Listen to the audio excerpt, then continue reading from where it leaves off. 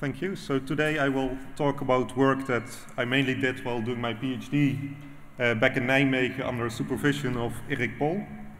So this is uh, yet another TLS talk, but this time we're not going to look at cryptographic attacks or problems that you have with certificate verification, but we look at another area where it also can go, well, possibly quite horribly wrong. Um, since this is the first TLS talk of this session, for all the people who managed to skip all the TLS talks this week, a short introduction uh, to TLS, which might help to later appreciate uh, the, the attacks that we found. So this is how a regular TLS session more or less looks like. So you, depending on the cipher suite and some options, you can have some additional messages. But the a TLS session will start with a client hello that the client sends to the server to indicate its capabilities, so the cipher suite and some possible extensions. Uh, the server will then uh, pick a cipher suite, respond uh, to possible extensions, uh, send its certificate and a message that it's done with its part. Then the client will uh, construct a shared key, uh, puts the data that is necessary for the server to also construct a shared key in the client key exchange message, and then sends a message called a change cipher spec. So this message indicates that all the data afterwards that is sent by the client will be encrypted with the agreed keys. And then after this, um, the first encrypted message that will be sent by the client is the finished message, and this message contains uh, a hash of all the previous handshake messages to provide integrity of the, of the previous handshake. These messages are sent to the server. The server also uh, computes the shared key, um, sends the change cipher spec to indicate that it also starts encrypting the data, and also it generates the hash, which is then packed into the finished message to provide integrity of the handshake so far. And if both the client and the server are happy, then they can start exchanging application data, which is hopefully encrypted.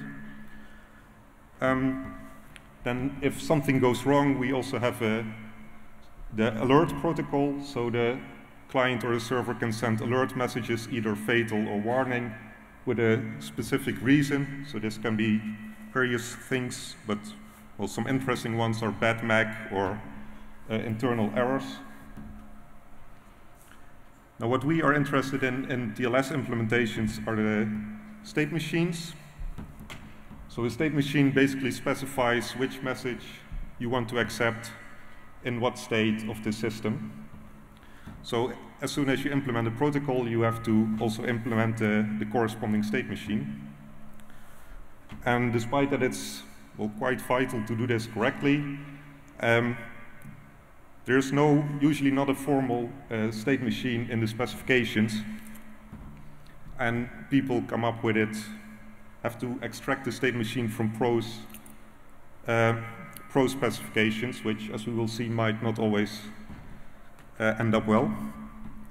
So the, we look at state machines using a formal um, specification called Mealy machines, for the ones uh, that missed this in their uh, computer science classes. A Mealy machine is, consists of a set of states.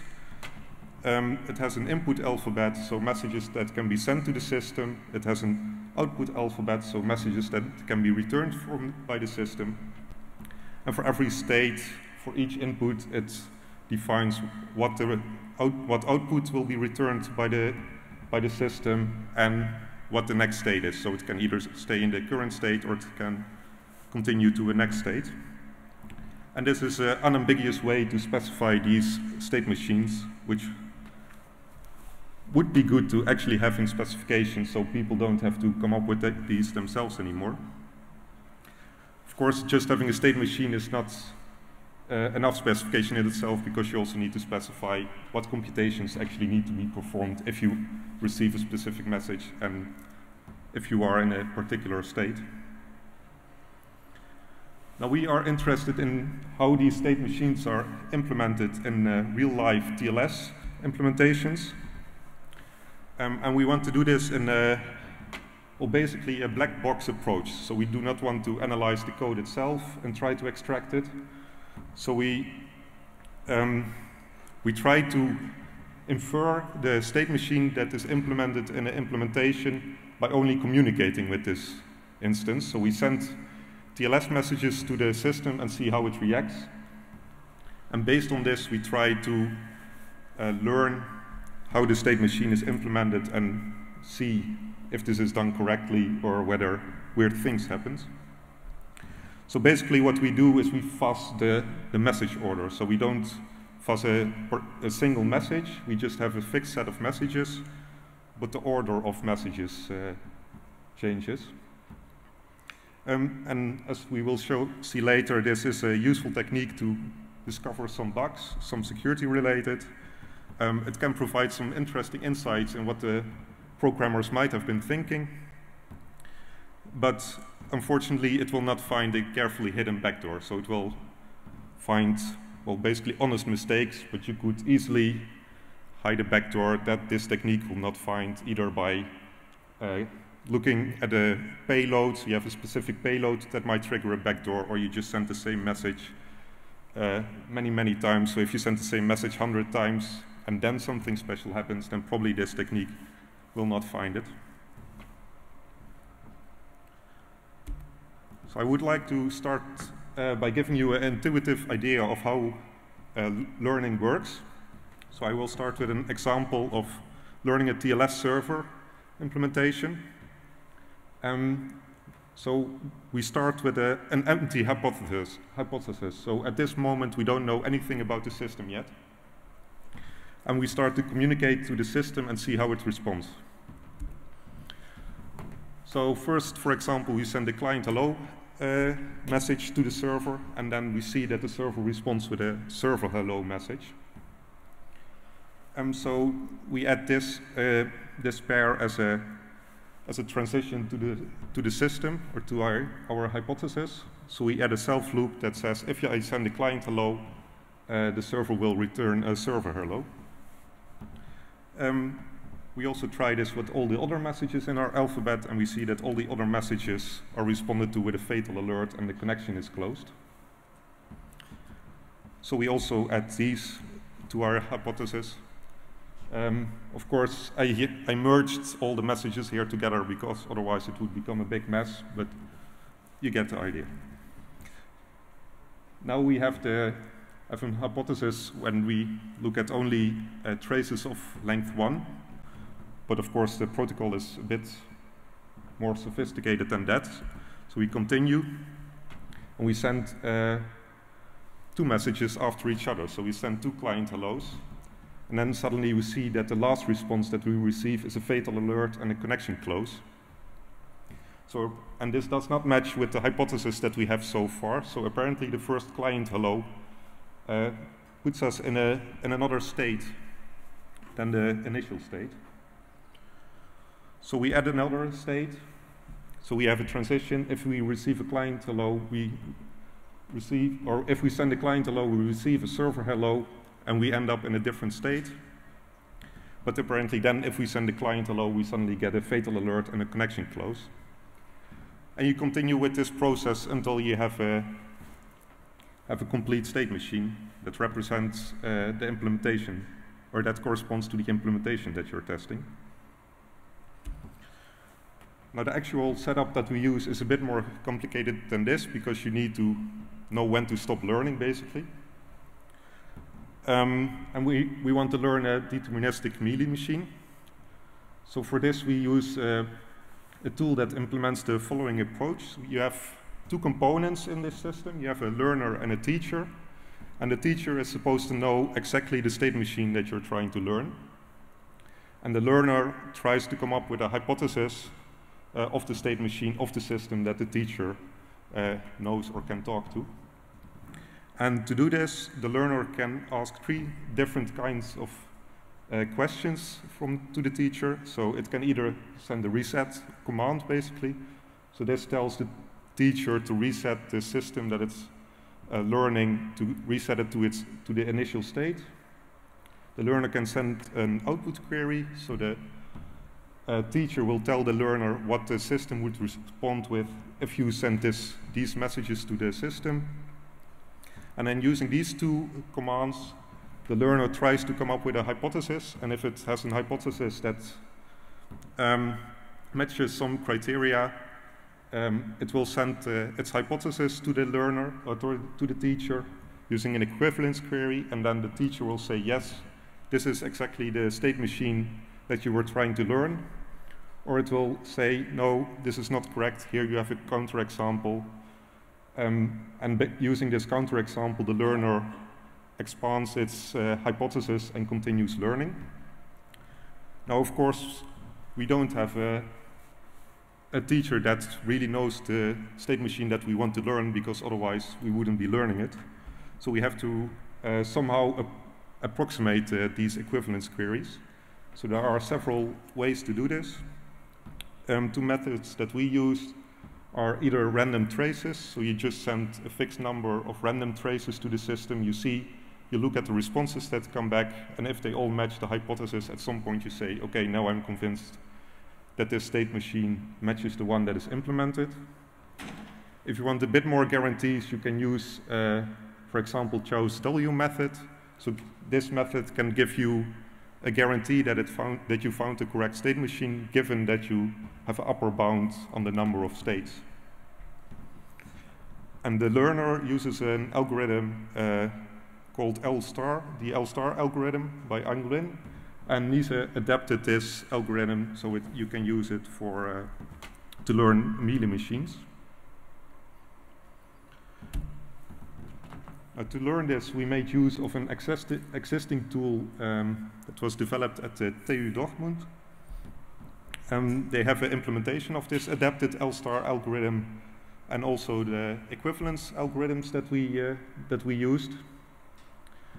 Now we modified the W method as it is, as it is implemented uh, in LearnLib to make use of some, well, basically domain knowledge to reduce the number of queries that we need to send to the TLS implementation. Um, so what we make use of is that as soon as a, a, socket is closed, we will not receive any interesting data on it anymore, by definition. So where the W method will just happily continue sending queries that are longer, even though you know that a certain prefix will always close the socket connection, we actually stopped the algorithm for trying those longer, uh, longer queries because it doesn't make sense to try to find, find counterexamples if you already know that the connection will be closed after the first three messages, for example. Now, to talk to TLS implementations, of course, we need to be able to send TLS messages. So for this, we had to build a custom test harness so this test harness uh, translates uh, symbols that are used within the algorithm to actual uh, TLS messages that, uh, that the implementation understands that we are testing. And then when we finally have a, have a, a state machine, we get a nice PDF that shows all the states and the transitions. We inspect it and see if we see anything funny going on. So whether we see more states than we would expect, whether there are weird transitions that shouldn't be there, or um, if we see, for example, weird alert messages. So, as I said before, the, a bad MAC is usually an indication that something fishy is going on. Now, the, te the test harness that we have is an well, almost stateless TLS implementation because we need to be able to send TLS messages in well, any random order um, but we still need to have at least some minimal state in this because we want to be able to handle encryption. We need to remember the keys that we agreed on with the server, and we want to remember whether the server expects messages to be encrypted in, the, in one of the two directions. And if we would not add this, then we wouldn't learn that much interesting. Um, our test harness uh, supports both test and uh, client and server messages. So we can test both client and server side. And it has support for all the regular TLS messages as well as the heartbeat extension. and it supports the RSA and Diffie-Hellman key exchange, um, some client authentication, and we have some extra special symbols that correspond with exceptions that can occur in the test harness. So for example, the connection is closed or the decryption fails on our side, either because the padding is wrong, the MAC doesn't check out, things like that. Now, one of the things we did was we analyzed uh, nine TLS uh, implementations on the server side. So you have some big ones and some smaller ones. And the thing that was obvious when you first looked at the mo learned models already was that every model that we learn is different. Nobody implements TLS in the exact same way. So it can be uh, just alert messages that are slightly different, or you just have additional states that should not be there, uh, different transitions that should not happen. And even the two RSA uh, implementations are quite different. So after the analysis, we get, a, we get models like this. Um, and we, we clean them up a bit. So these are, here we already have merged the transitions that are, um, that are the same, have to return the same output or go to the same states. But before this, you have a huge unreadable state machine. But this is already quite easy to, uh, to read and see if funny things happen. Here you see the collection of uh, models that we learned for these nine uh, different implementations. So some, for some implementations we learned different models or different versions. And you can see that all of them are different. So here I did some manual layout to make it a bit more readable for the, for the poor reviewers. Now, when they were available, we used the demo applications that were, pro were provided by the implementations. Um, and the models that we learned had from six stage, states, which is kind of what you expect, expect, all the way up to 16 states, which is a bit too much. Um, the running time for this particular experiment was from six minutes to over eight hours. And the eight hours uh, uh, work was caused basically by an implementation that would just not close its connection, even if something went wrong. And then we could not take advantage of our modification of the W method, so it would just try to keep searching for counterexamples, even though the server will never respond anymore, but the connection is still open. Um, so if the connections are properly closed, then at least it should be done, or these experiments were done in under an hour and the time was also a bit dependent on uh, the timeouts that we used. So after each query, we have a specific time that we wait for the implementation to respond. And because we don't know if, we, when we send a message, whether it's just waiting for another message from us or whether um, it's just doing some expensive crypto operations that, and it just needs a bit longer. So some implementations we had to set the timeout up to over a second because otherwise we didn't receive the, all the messages that the server tried to send to us. And this simple analysis already resulted in several flaws in different implementations. So the most interesting one, I guess, is the Java one. Um, so the, the Java implementation makes it possible to have a very efficient implementation of TLS because you don't have to do the crypto anymore on one side of the connection. So you can skip the change cipher spec message that is sent to the server. And if you don't send this, then the server is perfectly happy to accept the plaintext data that you send to it. Um, a similar problem is also present in the client, but there it's even worse. So after the first, after the server sends the server hello, the client will accept a finished message at any point, so even before it received the certificate or before it started to encrypt uh, data. Um, and quite a coincidence was that both, that also the, the same bug was found by the people from the Prosecco group at INRIA. So I was visiting them in December last year, and then we discovered that we actually reported the exact same bug to Oracle even though it must have been in there for years and years. And then, beginning of this year, Oracle finally patched it in one of their uh, critical updates.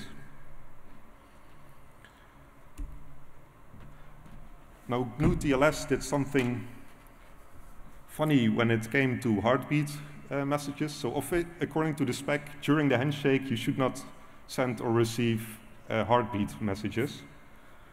Um, and then you're supposed to ignore them.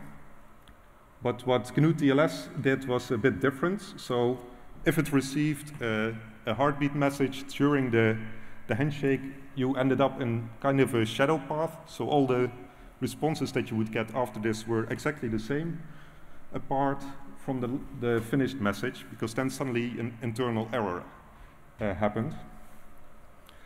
So this was a bit funny behavior. So we started to look into the code. And then it turned out that as soon as a heartbeat message was received by the, by the server, it reset the buffer that was used to uh, store all the handshake messages which are used in the finished message. So we were still collecting all the handshake messages that were exchanged, but then the finished message didn't match anymore with the finished message by GnuTLS. Um, so this means that you don't have any integrity anymore about messages that happen before you send the heartbeat request because GnuTLS just forgets about them basically. It might be a bit hard to actually exploit this, but this is definitely not behavior that you would like to have in your client. And the same problem exists on both sides. So both the server and the client have this. If they receive the heartbeat message, they just forget all the messages that they collected so far. Um, and this was luckily fixed by now uh, in version 3.3.9. Then we have OpenSSL. So this was uh, the implementation that actually had 16 states. Um, and here you had something funny after you already had a successful handshake. If you then suddenly, if you then send another additional change cipher spec, so you send two, uh, yeah, the second one, then for some reason the implementation decides to switch keys, so the server suddenly starts to use uh, the server keys in both directions, so both for receiving data and for sending out data.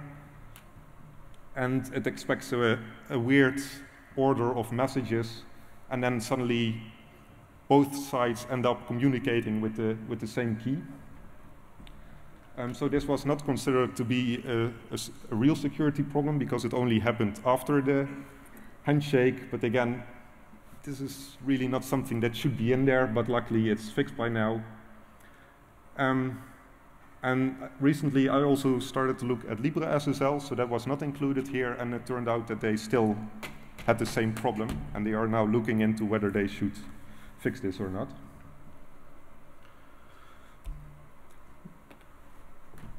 So we, before we started with this research, there was already a, a bug called the early CCS bug by Kikuchi. And here it was possible to send the CCS before a client key exchange. So if you would send this before the client key exchange, then there would not be a master secret yet to base the, the keys on. And uh, the keys would be uh, based on the empty master, master secret. And so all the data that was used there would be public. So this is the version that was still vulnerable for this. So by, it was already fixed by the time that we started our analysis. If we looked at this at this version, we could see that if we sent that a change, if this change cipher spec was sent early, so before the client key exchange from from state one, then at some point, we got decryption failed errors. So this is usually an indication that something is terribly wrong, because then somehow the keys are out of sync between the server and the client. And if you would have looked into this, then this would have been exactly the, the problem that uh, Kikuchi also found. And if we modify our test harness a bit to move uh, the location where we actually compute the keys that are used and the the hash that is used, then we can actually successfully trigger the bug even.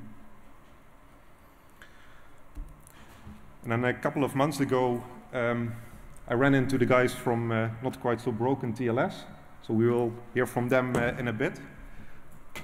Um, so since I had my test harness, we decided to have a look at, uh, at their implementation. And also here, we saw, we saw that at some point, we got decryption failed errors.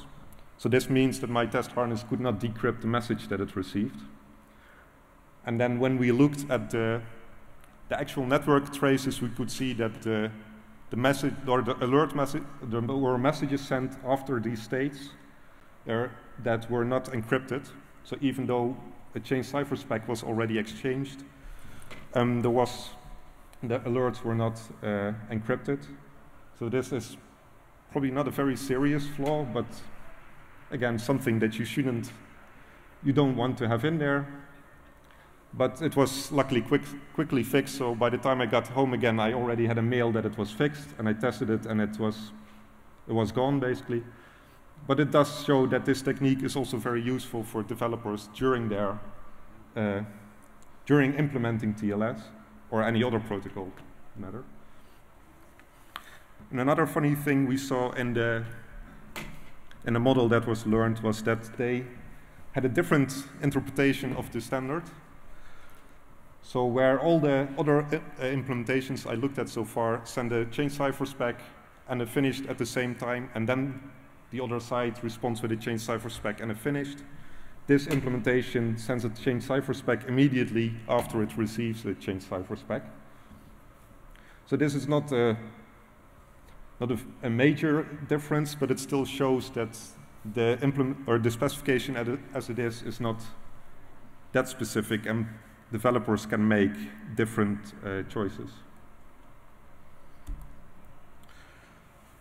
Now, what I'd like to conclude with some things. We sh have shown that the protocol state fuzzing is a useful technique, so we can find some, well, at least one very serious security flaw but also we found some other smaller bugs that are related to the implementation of state machines.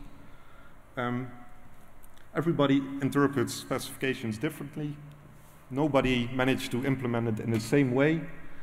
Um, and therefore, it would also be a good idea to just include a, a decent state machine specification in the specification of any protocol so people don't have to extract this anymore uh, from the prose uh, specifications as it is now. With that, I would like to thank you for your attention and for any questions.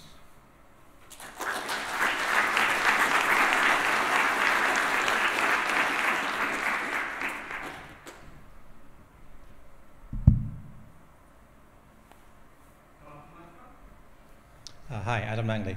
Can I get you to run this on BoringSSL and send me the PDF? No problem. Thank you.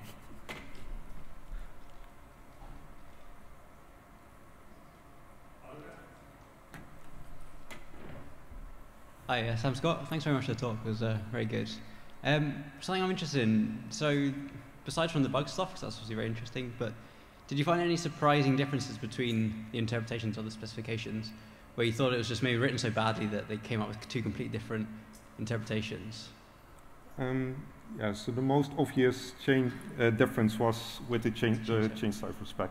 and then, of course, all the alert messages are completely different. Okay, thanks.